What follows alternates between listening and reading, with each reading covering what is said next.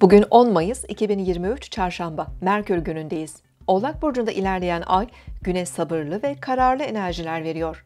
Bugün iş ve görevlileri daha fazla önemseyebilir, gelecek planlarımıza odaklanabiliriz. Ay sabah saatlerinde Boğa burcundaki Güneş ve Uranüs'te uyumlu görünümde olacak. Güne hareketli başlayabilir, hızlı ve sürpriz gelişmelerle karşılaşabiliriz. Motivasyonumuz, fiziksel enerjimiz ve dirayetimiz artabilir. İş ve kariyer konularında verimli ve başarılı sonuçlar alabiliriz. Yakın çevremizdeki insanlara uyum sağlayabiliriz.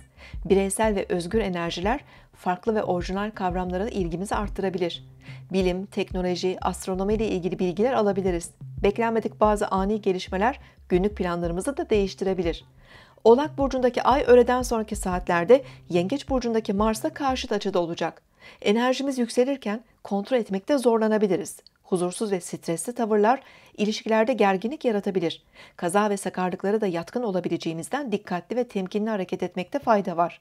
Öncü burçlar Koç, Yengeç, Terazi ve Oğlaklar bu etkiyi daha fazla hissedebilir.